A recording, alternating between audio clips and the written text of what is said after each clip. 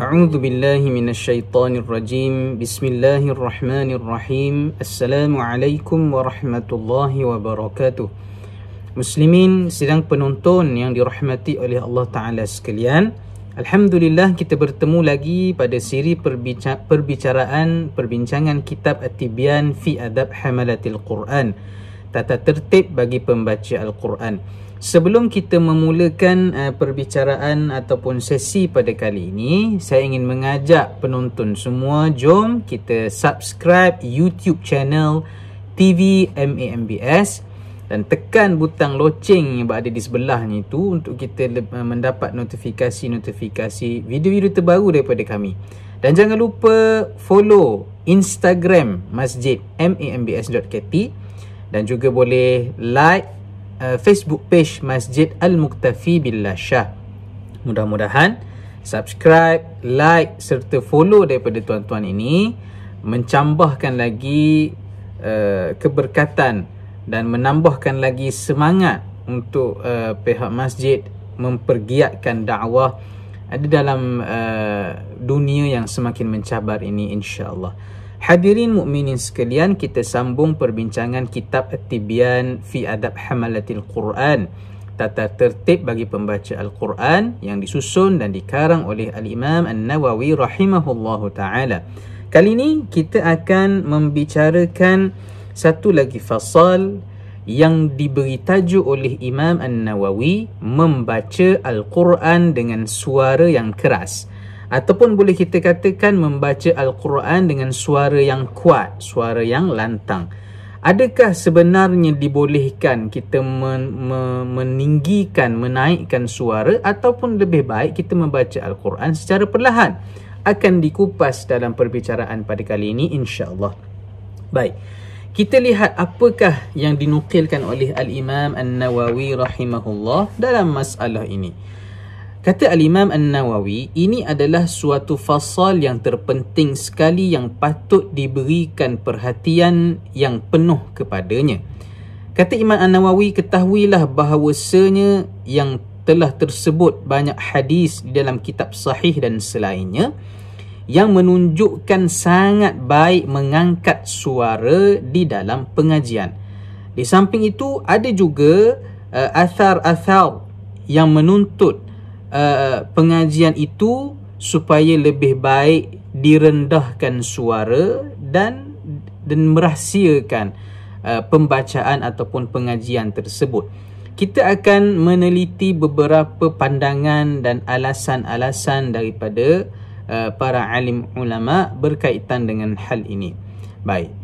Yang pertama Al-Imam Abu Hamid Al-Ghazali dan selainnya daripada para ulama mengatakan jalan mengumpulkan antara berita-berita ini dan athar yang berbeza-beza dalam hal ini bahawa pengajian dengan rahsia ataupun pembacaan Al-Quran dengan rahsia itu adalah jauh daripada sifat ria dan itu tentulah lebih afdal pada sesiapa yang bimbang dirinya akan merasa riak apabila dia membaca dengan suara yang kuat jika dia bimbang pada ada riak pada dirinya bila dia membaca dengan jelas dan mengangkat suara, maka bagi orang tersebut ia lebih uh, banyak uh, manfaatnya, faedahnya supaya dia merendahkan suara daripada bacaan Al-Quran. Ini apa uh, seperti mana yang dinukilkan oleh Al-Imam Ibn Qudamah Al-Maqdisi uh, bahawa ketika menjelaskan berkaitan dengan adab-adab uh, ketika membaca al-Quran kata beliau wa yustahabbul israru bil qiraah. Uh, dan disunatkan untuk membaca al-Quran secara perlahan. Dan Imam uh, Ibnu Quda Ibnu Qudamah Al-Maqdisi berdalilkan dengan sebuah hadis dengan lafaz uh, yang bermaksud kelebihan bacaan Al-Quran secara perlahan Uh, kelebihan bacaan Al-Quran secara perlahan ke atas pembacaan Al-Quran secara kuat adalah sama seperti kelebihan sedekah secara sembunyi ke atas sedekah secara terang-terangan.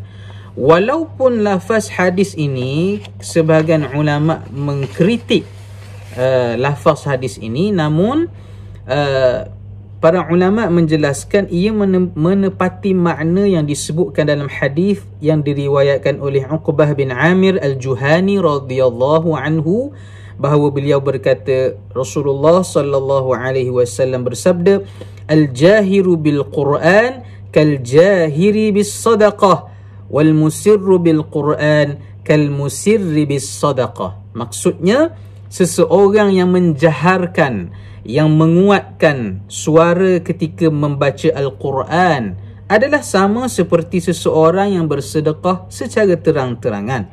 Dan seseorang yang membaca Al-Quran secara perlahan adalah sama seperti seseorang yang bersedekah secara sembunyi-sembunyi. Tuan-tuan, adakah salah pembacaan Al-Quran secara jelas, kuat dan apakah pula dibandingkan dengan bacaan Al-Quran secara sembunyi-sembunyi, secara perlahan? kedua-duanya berpahala. Itu satu premis yang kita kena faham bahawa tidak ternafi akan hadis Nabi sallallahu alaihi wasallam man qara'a harfan min kitabillah siapa yang membaca satu huruf daripada ayat al-Quran ha, akan digandakan dan Nabi kata wala aqulu alif lam mim harfun. Tidak aku katakan alif lam mim itu satu huruf. Walakin alifun harfun wa lamun harfun wa mimun harfun. Dan alif itu dikira satu huruf diganda sepuluh lam itu satu huruf diganda sepuluh dan mim itu satu huruf diganda sepuluh. Apa yang kita boleh faham di sini tuan-tuan pembacaan Al-Quran walaupun bagaimana keadaannya tetap berpahala. Cuma yang kita bicarakan pada hari ini keadaan yang manakah yang lebih baik, yang lebih afdal. Maka seperti yang disebut oleh Al-Imam Ibn Qudamah tadi ataupun seperti yang dinukilkan oleh Al-Imam An-Nawawi dalam kitab At-Tibyan kita baca sebentar tadi mengatakan bahawa pembacaan Al-Quran itu adalah baik cuma sekiranya dia merasakan dengan membaca secara jahar, secara, secara kuat itu boleh mendatangkan riak di dalam hati. Orang boleh mendengar suara aku dengan dengan kuat, dengan jelas. Boleh memperdengarkan bacaan Al-Quran dan berbangga dengan bacaan Al-Quran tersebut kerana suaraku sedap maka sekiranya dia khawatir akan perkara akan hal itu maka bagi dirinya lebih baik membaca al-Quran dengan merendahkan suara dan tidak mengangkat suara. Ha, adapun dalam sesi pengajian ataupun sesi pembelajaran maka tidak bolehlah kita uh, merendahkan suara kerana bimbang akan riak kerana manfaat pembelajaran al-Quran itu lebih besar. Daripada kita katakan uh, keburukan bimbang akan datangnya perasaan riak itu. Maka dalam pengajian dalam pembelajaran guru boleh mengangkat suaranya untuk memperdengarkan bacaan al-Quran atau untuk atau untuk mengajarkan pembacaan al-Quran dengan baik kepada pelajar-pelajarnya eh, kerana faedah tu lebih banyak daripada eh, risiko keburukan yang bakal ditanggung. Maka itu jugalah yang disebut oleh al-Imam An-Nawawi.